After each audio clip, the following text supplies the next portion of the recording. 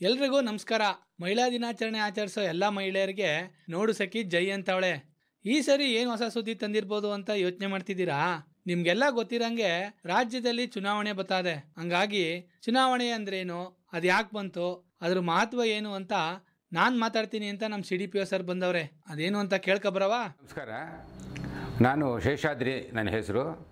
ಹೆಚ್ಚಿಕೋಟೆ ತಾಲೂಕಿನಲ್ಲಿ ಶಿಶುಅಭಿವೃದ್ಧಿ ಯೋಜನಾಧಿಕಾರಿ ಕೆಲಸ ಮಾಡ್ತಾಯಿದ್ದೀನಿ ತಾಲೂಕು ಮಟ್ಟದ ಚುನಾವಣೆಯಲ್ಲಿ ನನಗೆ ಸೆಕ್ಟರ್ ಆಫೀಸರ್ ಅಂತ, ಸ ಜವಾಬ್ದಾರಿನ ವಹಿಸಿದ್ದಾರೆ. ಈಗ ಮತದಾನ ಹೇಗೆ ಶುರುವಾಯಿತು ಹಿನ್ನೆಲೆ ಅಂತ ಹೇಳಿದ್ರೆ, ಸ್ವತಂತ್ರ ಬಂದಾಗಲೇ ಮತದಾನದ ಪ್ರಕ್ರಿಯೆ ಶುರುವಾಯಿತು ಅಂತ.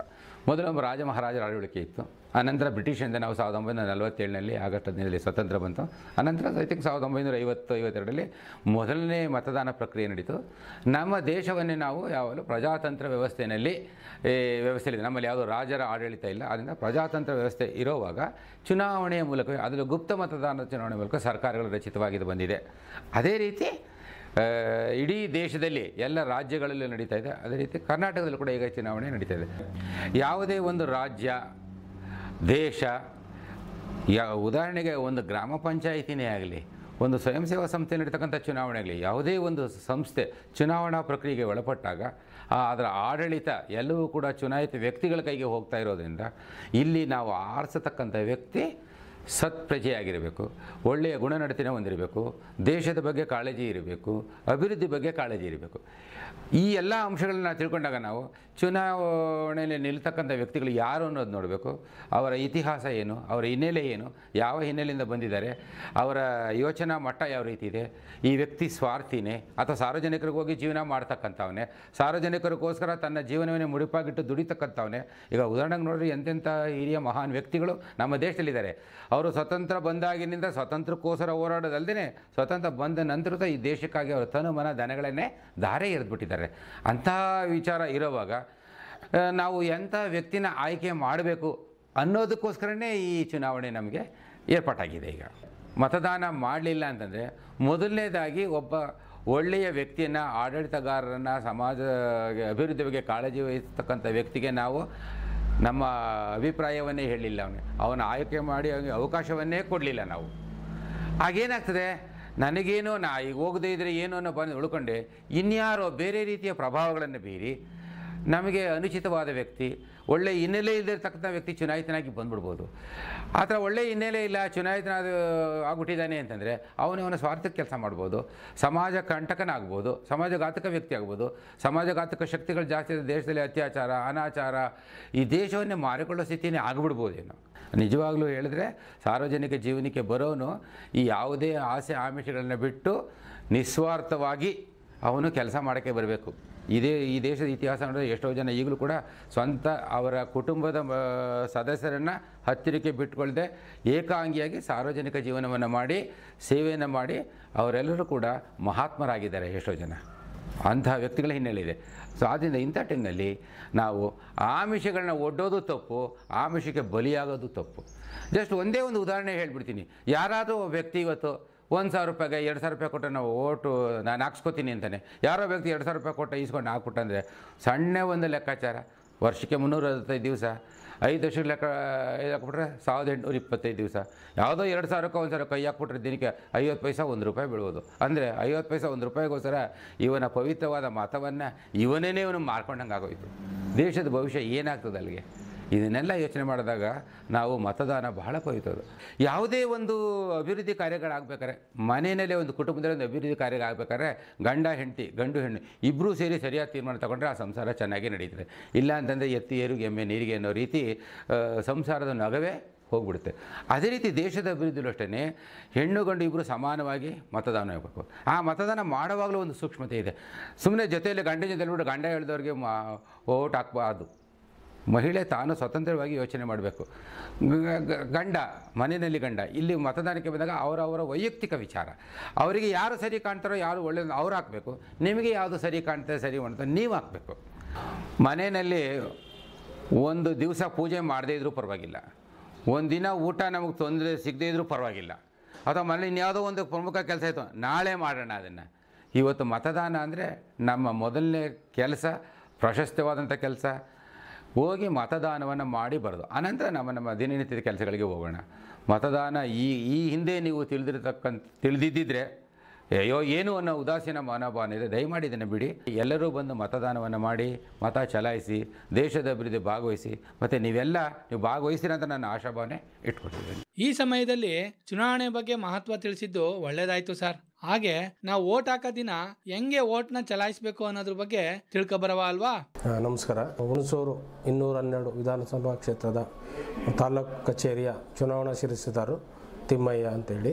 ಈಗ ತಾನೇ ಹದಿನೆಂಟು ವರ್ಷ ತುಂಬಿದ ವ್ಯಕ್ತಿಗಳು ಹೊಸದಾಗಿ ಮತದಾನ, ಅಂದರೆ ವೋಟ್ ಮಾಡೋಕ್ಕೆ ಹೋದಾಗ ಮೊದಲು ಅಲ್ಲಿ ನಾವು ನಮ್ಮ ಆಫೀಸ್ ಸ್ಟಾಫ್ ಹಾಕಿರ್ತೀವಿ, ಮತದಾನದ ಅಧಿಕಾರಿಗಳು.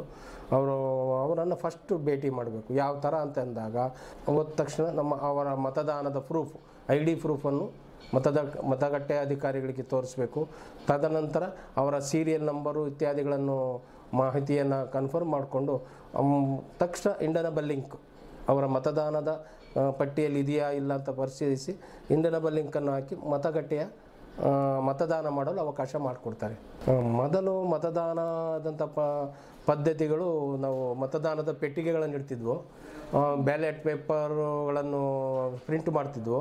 ಆ ಪ್ರಿಂಟ್ ಮಾಡಿದಂಥ ಬ್ಯಾಲೆಟ್ ಪೇಪರನ್ನು ಕೈಗೆ ಕೊಟ್ಟು ಪುನಃ ಕಳಿಸಿ ಆ ಒಂದು ಇದು ಮಾಡಿರ್ತೀವಲ್ಲ ನಾವು ರೊಟ್ಟಾಕಿ ಒಂದು ಗೌಪ್ಯ ಸ್ಥಾನ ಮಾಡಿ ನಿಗದಿಯಾಗಿದ್ದೀವಲ್ಲ, ಆ ಸ್ಥಾನದಲ್ಲಿ ಹೋಗಿ ಅವನು ಅವನ ಮಾರ್ಕ್ ಹಾಕಿ ಲಿಂಕ್ ಆದ ನಂತರ ಮಾರ್ಕ್ ಮಾರ್ಕ್ ಆಗಿ ಮಾರ್ಕ್ ಫೋನ್ ಅವನು ಯಾವ ಚಿತ್ರಕ್ಕೆ ಹಾಕಬೇಕು, ಆ ಚಿತ್ರಕ್ಕೆ ಹಾಕಿ ಮಡಚಿ ಆ ಪೆಟ್ಟಿಗೆಯಲ್ಲಿ ಹಾಕಿ ಬರುತ್ತಿದ್ದರು ಈಗ ಆಗಾಗಲ್ಲ ಈಗೆಲ್ಲ V V M V V PAT ಇತ್ಯಾದಿ ನೂತನವಾದಂಥ ಎಲ್ಲ ಮಾರ್ಗೋಪಯೋಗಗಳಿರೋದ್ರಿಂದ ಈಗ ಮತದಾನ ಮಾಡೋದು ಅತಿ ಸುಲಭವಾಗಿ ಕಾಣುತ್ತದೆ. ವಿ ವಿ ಮಿಷನ್ ಹೋದಾಗ ಸೀಲ್ ಒತ್ತುವಂಥ ಅವಶ್ಯಕತೆಗಳೇನಿಲ್ಲ. ನಮ್ಮ ಬೆರಳಿನಿಂದ ಈಗ ಮಾರ್ಕ್ ಯಾವ ಮಾರ್ಕ್ಗೆ ಅವಶ್ಯಕತೆ ಆ ಮಾರ್ಕನ್ನು ಈಗ ಒತ್ತಿದಾಗ ಅದು ಬಿ ಎನ್ನುವ ಶಬ್ದ ಬರುತ್ತೆ. ಆ ಶಬ್ದ ಬಂದ ನಂತರ ಅದು ಮತದಾನ ಆಗಿ, ಆಗಿದೆ ಎನ್ನುವ ಒಂದು ಕುರುಹು ಸಿಕ್ಕುತ್ತೆ. ತದನಂತರ ನಾವು ವಾಪಸ್ಸು ಮತದಾನ ಆಗಿದೆ ಅಂತ ಕನ್ಫರ್ಮ್ ಮಾಡ್ಕೊಂಡು ಬರ್ಬೋದು ನೀವು ಹೇಳಿದ್ದು ಒಳ್ಳೇದೇ ಆಯ್ತು ಸರ್. ಓಟ್ ಹಾಕೋಕೆ ಬೇರೆ ಬೇರೆ ವಿಧಾನಗಳು ಅಷ್ಟೇ. ಆದ್ರೆ ನಮ್ಮ ಓಟನ್ ಆಯ್ಕೆ ಸರಿಯಾಗಿ ಮಾಡೋಣ ಅಂತ ಹೇಳ್ತಾ ಮೊದಲನೇ ಸಲ ವೋಟನ್ ಕಾರ್ಡ್ನ ಮಾಡಿಸ್ಕೊಂಡು ಹಂಗೆ ಓಟ್ ಹಾಕಿರೋ ಅನುಭವ ಹೇಳ್ತೀವಿ ಅಂತ ನಮ್ಮ ಮುಳ್ಳೂರು ಹಾಕಂದ್ರು ಬತ್ತಾವ್ರೆ. ಬರ್ರಕ್ಕ ಹೇಳಿ. ನಮಸ್ಕಾರ. ನನ್ನ ಹೆಸರು ಲತಾ. ನಮ್ಮ ಊರು ಮುಳ್ಳೂರು. ಮತ್ತು ನಾವು ಮನೆಯಲ್ಲೇ ಗೃಹಿಣಿ ಆಗಿರೋದು. ನನ್ನ ಹೆಸರು ಲಕ್ಷ್ಮಿ ನಮ್ಮೂರು ಮುಳ್ಳೂರು ನಾನು ಗೃಹಿಣಿ. ಓಟನ್ ಕಾರ್ಡ್ ಅಂದರೆ ನಮ್ಮದು ಪಿ ಯು ಮುಗಿದಾದ್ಮೇಲೆ ನಮ್ಗೆ ಹದಿನೆಂಟು ವರ್ಷ ಏಜ್ ಆಯಿತು. ಆವಾಗ ಮತ್ತೆ ಸ್ಕೂಲಲ್ಲಿ ಕೇಳ್ತಿರ್ತಾರೆ ಯಾವ ಎಲೆಕ್ಷನ್ ಹತ್ರ ಬಂದ ತಕ್ಷಣ ಬತ್ ಬರ್ತಾ ಇನ್ನು ಆರು ತಿಂಗಳು ವರ್ಷ ಇದ್ದಂಗ್ಲೇ ಐ ಡಿ ಕಾರ್ಡ್ ಯಾರ್ಯಾರಿಗೆಲ್ಲ ಅವರು ಮಾಡಿಸಿ ಅಂತ ನಮ್ಗೆ ಅನೌನ್ಸ್ ಮಾಡೋಕೆ ಊರ ಮೇಲೆ ಬರುತ್ತಾರೆ. ಆವಾಗ ನಾವು S L C marks card ಮತ್ತು ಎರಡು ಫೋಟೋ ಮತ್ತು ನಮ್ಮ ಪೇರೆಂಟ್ಸು ಇಲ್ಲಾಂದರೆ ನಮ್ಮ ಹಸ್ಬೆಂಡ್ ಹೆಸರು ಯಾರ ಹೆಸರು ಕೊಟ್ಟು ಲೀಸ್ಟ್ ಕೊಟ್ಟರೆ ಅಲ್ಲಿ ಸ್ಕೂಲಲ್ಲಿ ಇನ್ನೂ ವರ್ಷ ಆರು ತಿಂಗಳು ಆಗ ಆಗದೆ ಆದ್ರೇ ಅವರು ನಮ್ಮ ಸಿಗ್ನೇಚರ್ ಹಾಕಿಸ್ಕೊಂಡು ನಮಗೆ ಐ ಡಿ ಕಾರ್ಡ್ ಕೊಡುತ್ತಾರೆ. ಫಸ್ಟ್ ಟೈಮ್ ಭಯ ಆಯ್ತಿತ್ತು ಅಲ್ಲಿ ಹೋದಾಗ ಹೆಂಗೆ ಹಾಕೋದಪ್ಪ, ಹೇಗೆ ಹಾಕೋದು ಅಂತ ಭಯ ಇತ್ತು. ಅಲ್ಲಿ ಹೋಗಿ ಕ್ಯೂವಲ್ಲಿ ನಿಂತ್ಕೊಂಡೋಗ್ಲು ಕೈ ಕಾಲೆಲ್ಲ ನಡುಗ್ತಿದ್ದೋ ಹೋಗ್ಬೇಕಾದ್ರೆ. ಅಲ್ಲಿ ಒಳಗಡೆ ಹೋದಾಗ ಯಾವ ಒಂದಕ್ಕೆ ಹಾಕಿದ್ರೆ ಇನ್ನೊಂದಕ್ಕೂ ಹಾಕ್ಬೇಕೇನೋ ಅನ್ನೋ ಫಸ್ಟ್ ಸ್ಟಾರ್ಟಿಂಗ್ ನನ್ನ ಮನಸ್ಸಲ್ಲಿ ಇತ್ತು. ಆಗ ಯಾರೋ ಒಬ್ಬರು ಒಂದಕ್ಕೆ ಮಾತ್ರ ಹಾಕೋದು ಅಂತ ಪಕ್ಕದಲ್ಲಿ ಹೇಳಿದ್ರಲ್ಲ, ಆಗ ನನ್ನ ಮನಸ್ಸಲ್ಲಿ ಹುಟ್ಟಿತು ಆವಾಗ ನಾನು ಒಂದಕ್ಕೆ ಹಾಕ್ಬಿಟ್ಟು ಚಿನ್ನೆ ಹಾಕ್ಬಿಟ್ಟು, ಪಾಲಿಸ್ ಹಾಕೋರು ಬೆರಳಿಗೆ. ಆಗ ಐ ಡಿ ಕಾರ್ಡ್ ಇಸ್ಕೊಂಡು ಒಂಬದ್ಲು ನಾವು ಮೊದಲನೇ ಬಾರಿ ಹಾಕಿದ್ದು ಪಂಚಾಯತ್ ಎಲೆಕ್ಷನ್ ಓಟೆ. ಆವಾಗ ಹೈಸ್ಕೂಲು ಅಥವಾ ಮಿಡ್ಲ್ ಸ್ಕೂಲಲ್ಲಿ ವೋಟ್ ಮಾಡೋದು ಅಂತ ಇರುತ್ತೆ. ಆವಾಗ ನಾವು ನಮ್ಮ ಐ ಡಿ ಕಾರ್ಡ್ ಗುರುತು ವೋಟ್ ತಗೊಂಡು ಆವಾಗ ಜನಗಳ ಜೊತೆಲಿ ಹೋಗೋದು. ಅಲ್ಲಿ ಸ್ಕೂಲಲ್ಲಿ ಎ ಮತ್ತು ಬಿ ಸೆಕ್ಷನ್ ಅಂತ ಇರುತ್ತೆ. ಅಲ್ಲಿಗೆ ಯಾವ ಸೆಕ್ಷನ್ ಇರುತ್ತೆ? ಅಲ್ಲಿಗೆ ಕಾರ್ಡ್ ತಗೊಂಡು ಹೋದ್ವಿ. ಆವಾಗ ಅಲ್ಲಿ ನಮ್ಮ ಲೀಸ್ಟ್ ಇರುತ್ತೆ ಕಾರ್ಡ್ ಇರುತ್ತಲ್ಲ? ಆವಾಗ ಓಕೆ ಮಾಡಿ ನಮ್ಮ ಬೆರಳಿಗೆ ಪಾಲಿಸ್ ಮಾಡಿ ಓಕೆ ಮಾಡಿ ಕಳಿಸ್ತಾರೆ ಆವಾಗ ಬೂತಲ್ಲಿ ಚಿಹ್ನೆ ಇರುತ್ತೆ, ಆರು ಮತ್ತು ಏಳು. ಆ ಚಿಹ್ನೆಯಲ್ಲಿ ಯಾವ ಚಿಹ್ನೆ ಇರುತ್ತೆ, ಆ ಚಿಹ್ನೆಗೆ ನಾವು ಓಕೆ ಮಾಡ್ಬಿಟ್ಟು ಬರೋದು ಓಟ್ ಮಾಡಿ. ಆಗ ಬೇರೆಯವರು ಓಟ್ ಹಾಕ್ಬಿಟ್ಟು ಬರ್ತಿರ್ತಾರಲ್ಲ ಆವಾಗ ಈಗ ಹಾಕ್ತಿದ್ರು ಇವರು ಓಟ ನೋಡ್ಕೊಳ್ಳಲ್ವಲ್ಲ ನಾವು? ಒಳಗಡೆ ಹೇಗೆ ಹೋಗೋದು? ಯಾರನ್ನ ಕೇಳೋದು? ನಂಬರ್ ಎಲ್ಲಿ ಇರೋದು? ಕಾರ್ಡ್ ಯಾರಿಗೆ ತೋರಿಸೋದು ಅನ್ನೋ ಬಯಕೆ ಇರುತ್ತೆ. ಓಟ್ ಹಾಕೋದೇನಕ್ಕೆ ಮುಖ್ಯ ಅಂದರೆ, ನಾವು ಒಬ್ಬ ಪ್ರತಿನಿಧಿ ಆಯ್ಕೆ ಮಾಡೋದು, ಮತ ಮಾಡೋದು ನಮ್ಮದು ಒಂದು ಹಕ್ಕು. ಅದಕ್ಕೋಸ್ಕರ ಮತ ಮಾ ಒಬ್ಬ ಪ್ರತಿನಿಧಿಯನ್ನು ಸಮುದಾಯಕ್ಕೋಸ್ಕರ ಒಳ್ಳೆಯದು ಒಳ್ಳೆ ರೀತಿ ಕೆಲಸ ಮಾಡ್ಕೊಂಡೋಗ್ತಾರೆ ಅದಕ್ಕೋಸ್ಕರ ಅನ್ನೋದಕ್ಕೋಸ್ಕರ ಓಟ್ ಮಾಡಿ ಅವ್ರನ್ನ ನಮ್ಮ ಹಕ್ಕುದಿಂದ ಗೆಲ್ಬೋದು. ಗ್ರಾಮದ ಅಭಿವೃದ್ಧಿ ಯಾರಿಗೆ ಓಟ್ ಹಾಕಿಸ್ತೀವಿ ಓಟ್ ಹಾಕಿವಿ ಅನ್ನೋದು ಅದ್ರ ಮೇಲೆ ಅಭಿವೃದ್ಧಿ ನಿಂತಿರುತ್ತೆ. ಓಟನ್ ಕಾರ್ಡ್ ಇಲ್ಲದೆ ಹೋದಂಥವ್ರಿಗೆ ಮತ್ತು ನಮ್ಮಲ್ಲಿ ಓಟ್ ಇರಲೇಬೇಕು ಅನ್ನೋದು ಒಂದು ಕಾನೂನು ಬರುತ್ತೆ. ಹದಿನೆಂಟು ವರ್ಷ ಆದಮೇಲೆ ನಮ್ಮಲ್ಲಿ ಐ ಡಿ ಕಾರ್ಡ್ ಇರಲೇಬೇಕು. ಆ ಗ್ರೂಪ್ ಇದ್ದರೆ ನಾವು ಮತ ಚಲಾಯಿಸ್ಬೋದು. ಮತದಾನ ಮಾಡೋದು ನಮ್ಮೆಲ್ಲರ ಹಕ್ಕು ಒಂದು ಪ್ರತಿನಿಧಿ ಆಯ್ಕೆ ಮಾಡಬೇಕು. ಅಂದರೆ ಅವರು ಒಂದು ಒಳ್ಳೆಯ ಕೆಲಸದಲ್ಲಿ ನಿರ್ವಹಿಸ್ಕೊಂಡು ಹೋಗ್ತಾರೆ ಅಂತವ ಎಲ್ಲರೂ ಒಂದು ಆಯ್ಕೆ ಮಾಡಿಕೊಂಡು ನಾವು ಅವ್ರನ್ನ ಪ್ರತಿನಿಧಿಯಾಗಿ ಗೆಲ್ಲಿಸ್ತೀವಿ. ಅಲ್ಲಾಗಿ ಮತದಾನ ಹದಿನೆಂಟು ವರ್ಷ ತುಂಬಿದ ಮೇಲೆ ಮತದಾನ ಮಾಡಲಿ ಅಂತವ ಎಲ್ಲರ ಹಕ್ಕು ನಮ್ಮೆಲ್ಲರೂ ಹಕ್ಕು ಅಂತವ ಹೇಳ್ತೀವಿ. ನಾವು ಮತದಾನ ಮಾಡೋದು ನಮ್ಮ ಕರ್ತವ್ಯ. ನೀವು ಮತದಾನ ಮಾಡಿ ಮತ್ತೆ ಒಳ್ಳೆ ಪ್ರತಿನಿಧಿನ ಆಯ್ಕೆ ಮಾಡ್ಕೊಳ್ಳಿ. ನಾವು ಓಟ್ ಹಾಕೋದು ನಮ್ಮ ಕರ್ತವ್ಯ ಎಲ್ಲರೂ ಓಟ್ ಹಾಕಿ. ಮೊದಲನೇ ಸಲ ಓಟ್ ಹಾಕುವಾಗ ಎಲ್ರಿಗೂ ಹಿಂಗೆ ಆಗೋದು ಅಂತವ್ರೆ ನಮ್ಮ ಮೈಲಂಬೂರ್ ಹಾಕಂದ್ರು ಹಂಗೆ ಈಗ ಒಂದು ಪದ ಆಡ್ಬಿಡ್ತೀವಿ ಹೊಸಿ ಜಾಗ ಕೊಟ್ಟರಿಯಾ ಅಂತ ಕೇಳ್ತಾವ್ರೆ. ನಿಮ್ದೇ ಅಲ್ವಾಕ ಜಾಗ? ಬನ್ನಿ ಹೇಳ್ಬಿಡಿ ಮತ್ತೆ. ಮೈಲಂಬೂರು ಗೌರಮ್ಮ. ಮೈಲಂಬೂರು ದೊಡ್ಡಿರಮ್ಮ. ಸಂಘ ಕಟ್ಟೋಣ ಬನ್ನಿ ಮಹಿಳೆಯರು ನಾವೆಲ್ಲ. ಸಂಘದ ಮನೆಗೆ ದಯ ಮಾಡಿ ಸಂಘ ಕಟ್ಟೋಣ ಬನ್ನಿ. ಸಂಘದ ಮನೆಗೆ ದಯ ಮಾಡಿ ಮಹಿಳೆಯರ, ನಾವು ಕೈ ಮುಖವ ತೊಳೆಯೋಣ, ಸಂಘ ಕಟ್ಟೋಣ ಬನ್ನಿ. ಕೈ ಮುಖವ ತೊಳೆಯೋಣ ಮಹಿಳೆಯರ ಅಕ್ಕೋಸ್ತಿನ ಹಣೆಗೆ ಸಂಘ ಕಟೋನ ಬನ್ನಿ. ಅಕ್ಕೋಸ್ತಿನ ಹಣಗಿಕ್ಕಿ ಮಹಿಳೆಯರ ಮಲ್ಲಿಗೆ ಹೂವ ತಲೆಯಲ್ಲಿ ಸಂಘ ಕಟೋನ ಬನ್ನಿ. ಮಲ್ಲಿಗೆ ಹೂವ ತಲೆಯಲ್ಲಿ ಮಡಕೊಂಡು ಕುಸ್ತಿ ನಾಮ ಹಣೆಯಲ್ಲಿ ಇಕ್ಕೊಂಡು ಗಂಧದ ಕಡ್ಡಿಯ ಕೈಯಲ್ಲಿಡುವುದೇ ಸಂಘ ಕಟನ ಬನ್ನಿ. ಕೆಳ್ಳಟ್ಟಿ ಕಾಳಕ್ಕ ಪಕ್ಕದ ಮನೆ ಪೊಟ್ಟಕ್ಕ ಮ್ಯಾಗ್ಲಟ್ಟಿ ಬೋರಕ್ಕ ನೀವು ಬನ್ನಿ, ಸಂಘ ಕಟನ ಬನ್ನಿ. ಸಂಘದ ಮನೋಗೆ ದಯ ಮಾಡಿ ಸಂಘ ಕಟ್ಟೋಣ ಬನ್ನಿ. ಮುಂದಕ್ಕೆ ಸಂಘ ಬೆಳೆಸೋಣ, ಸಂಘ ಕಟ್ಟೋಣ ಬನ್ನಿ. ಹತ್ತು ಉಳಿತಾಯ ಮಾಡಿ, ಐದು ಆದಾಯ ಮಾಡಿ. ಮುಂದಕ್ಕೆ ಸಂಘ ಬೆಳೆಸೋಣ, ಸಂಘ ಕಟ್ಟೋಣ ಬನ್ನಿ. ಸಂಘದ ಮನೆಗೆ ದಯ ಮಾಡಿ, ಸಂಘ ಕಟ್ಟೋಣ ಬನ್ನಿ. ಪದನ ಏನ್ ಚೆನ್ನಾಗ್ ಆಡ್ತೀರಕ್ಕ? ಈ ತರ ಪದಗಳನ್ನ ಕೇಳಕ್ಕೇನೆ ಖುಷಿ ಆಯ್ತದೆ. ಹಂಗರೀಗ ಐ ಟಿ ಫಾರ್ ಚೇಂಜ್ ಪ್ರಕ್ರಿಯೆ ವತಿಯಿಂದ ಏನೆಲ್ಲ ಕಾರ್ಯಕ್ರಮಗಳಾಗವೆ ಅಂತ ತಿಳ್ಕೊಬರವಾ ಬನ್ನಿ ಮತ್ತೆ. ಎಚ್ ಡಿ ಕೋಟೆ ತಾಲೂಕಿನ ಕಟ್ಟೆಮನುಗ್ನಳ್ಳಿ ಮತ್ತು ಜಕ್ಕಳ್ಳಿ ಗ್ರಾಮದ ಕಿಶೋರಿಯರಿಗೆ ವಿಶ್ವ ಮಹಿಳಾ ದಿನಾಚರಣೆಯ ಪ್ರಯುಕ್ತ ಕಾರ್ಯಕ್ರಮ ಹಮ್ಮಿಕೊಂಡು ಮಹಿಳಾ ದಿನಾಚರಣೆ ಹಿನ್ನೆಲೆ ಬಗ್ಗೆ ತಿಳಿಸಿಕೊಡಲಾಯಿತು. ಸರ್ಗೂರು ತಾಲೂಕಿನಲ್ಲಿ ಮೈರಾಡ ಸಂಸ್ಥೆಯವರು ಆಯೋಜಿಸಿದ್ದ ವಿಶ್ವ ಮಹಿಳಾ ದಿನಾಚರಣೆ ಕಾರ್ಯಕ್ರಮಕ್ಕೆ ತುಂಬಸೋಗೆ, ಎಚ್ ಡಿ ಕೋಟೆ ಮತ್ತು ಕಾಳಿಉಂಡಿ ನಮ್ಮ ಮಾಹಿತಿ ಕೇಂದ್ರದ ಸಖಿಯರು ಭಾಗವಹಿಸಿ ಕಂದಾಯ ಇಲಾಖೆ ಬಗ್ಗೆ ಮಾಹಿತಿ ತಿಳಿಸಿದರು. ಕೆಬೆಳ್ತೂರು ಗ್ರಾಮ ಪಂಚಾಯಿತಿಯ ಚಕ್ಕೂರು ಗ್ರಾಮದಲ್ಲಿ ಒಡಿಪಿ ಸಂಸ್ಥೆಯವರು ಆಯೋಜಿಸಿದ್ದ ವಿಶ್ವ ಮಹಿಳಾ ದಿನಾಚರಣೆ ಕಾರ್ಯಕ್ರಮದಲ್ಲಿ ನಮ್ಮ ಮಾಹಿತಿ ಕೇಂದ್ರದ ಸಖಿಯರು ಭಾಗವಹಿಸಿ ವೇತನಗಳ ಬಗ್ಗೆ ಮತ್ತು ದಾಖಲಾತಿಯ ಬಗ್ಗೆ ಮಾಹಿತಿ ಹಂಚಲಾಯಿತು.